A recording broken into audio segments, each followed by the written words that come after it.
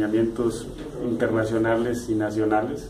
Si habláramos de los parámetros internacionales, sugieren que se tenga un elemento por cada 500 habitantes.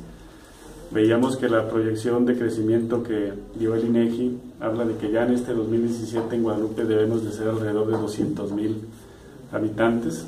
El conteo intercentral del año 2015 nos situó en 188 mil, pero conforme al porcentaje de crecimiento que estamos por arriba de la media nacional, habla de que en este año ya debemos ser cerca de 200 mil habitantes. Entonces tendríamos de, la obligación de tener cerca de 500 elementos eh, dentro de nuestra Dirección de Seguridad Pública Municipal. Tenemos 173, o sea, estamos en un 38% de lo que debiéramos de tener. Por supuesto que la condición económica del municipio es difícil, pero priorizamos el tema de atención a la seguridad.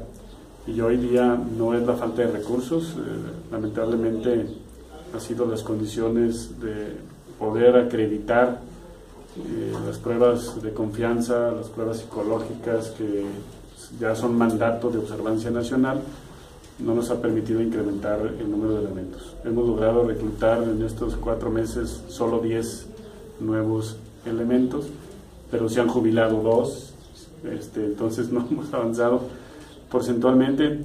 El, el, objetivo es hacer un llamado a, que, a quienes aspiren a servir a la seguridad, particularmente el municipio de Guadalupe, lo hagan.